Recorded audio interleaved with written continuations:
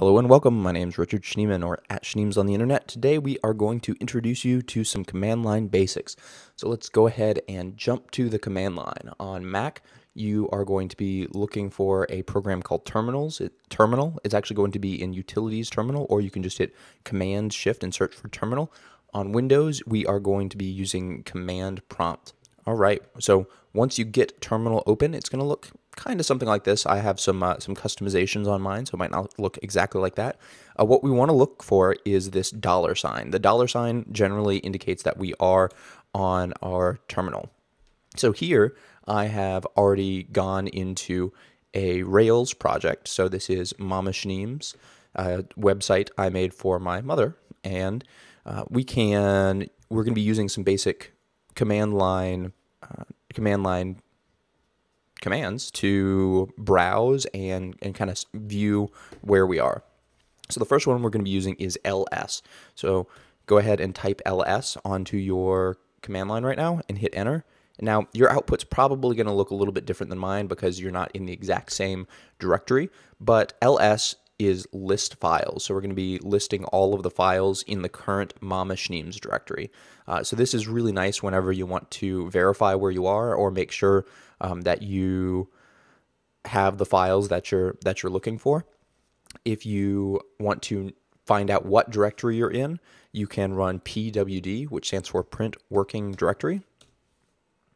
So this gives me the full path of where I am, and uh, the next one, or one of my favorites, is CD. You're going to be using CD a lot. So CD stands for change directory. So um, since this is a Rails project, we can go into the app directory. So we can change directory into app, and um, you should be able to hit tab, and that will give you a little bit of completion on your command line. So if we do that, you can now see that we are in the app directory in the, the Mama Schneems project.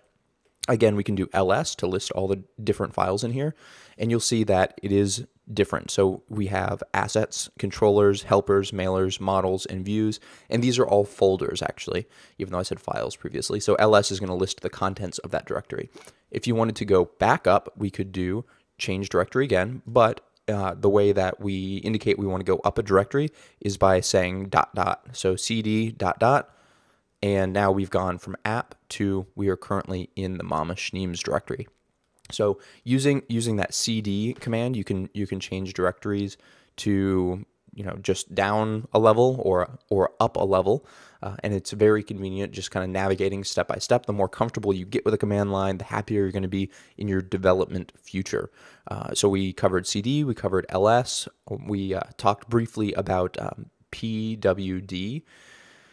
Um, one uh, one thing to mention with um, w- with regards to following directions and the command line, a lot of times they will actually list a dollar sign next to the command, and this typically indicates that they want you to run it on the command line, not that they want you to type the dollar sign in there. Um, so you might get a get something that says, uh, you know, type in rake dollar sign rake routes, and that means you just want to run rake routes. You don't want to type the dollar sign in there again. Um, if you were to do that, you would actually you would actually get an error if you typed in. Let's just try that right now. Let's type in dollar sign rake routes. You know, and then you'll get this command not found thing.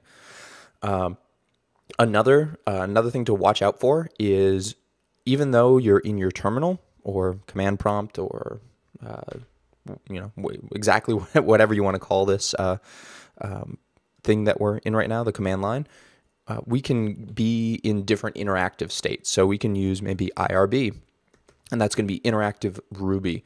Uh, you may or may not have this installed on your machine. The the biggest thing to watch out for is notice that the prompt changes. So we went from this we went from this dollar sign to this little little caret. And so, you know, we now we can use Ruby, we can do like one plus one. But if we try to do something like we did before, rake routes, um, undefined local variable or method, uh, or you know if we tried to use cd, you know, or ls, like none of those are going to work because notice we're actually in a different context. Uh, finally, the last thing I want to point out in that regard is whenever we are running interactively running, say something like a server. So here we can run Rails server, and again, you might not be able to run this on your machine right where you are if you're not in a Rails directory. But um, notice I can actually hit enter and I can I can type things into this, um, in, you know, including like I can type in CD and I can type in ls, but nothing's happening um, because we're, we don't have that dollar sign. always, whenever whenever you're typing things, you want to and you hit enter, you want to look for a new dollar sign, and that indicates your command was successful. So again, uh, we covered CD, which is going to be change directory, ls, which is list files, pwd, which is uh, print working directory. Um, and that will that will get you pretty far off. Uh, actually, I, the the last command is, and I use this all the time, is make directory. So we can do mk dir, and then we can just make a new folder without having to open up our Finder. So I can make a folder named foo, and then if I do ls, we'll actually see now we've got foo in there, and then I can cd into foo. So if I cd into foo, now if I ls, there's going to be nothing in there. So there's no files in foo, and again, I can back out by doing cd dot dot.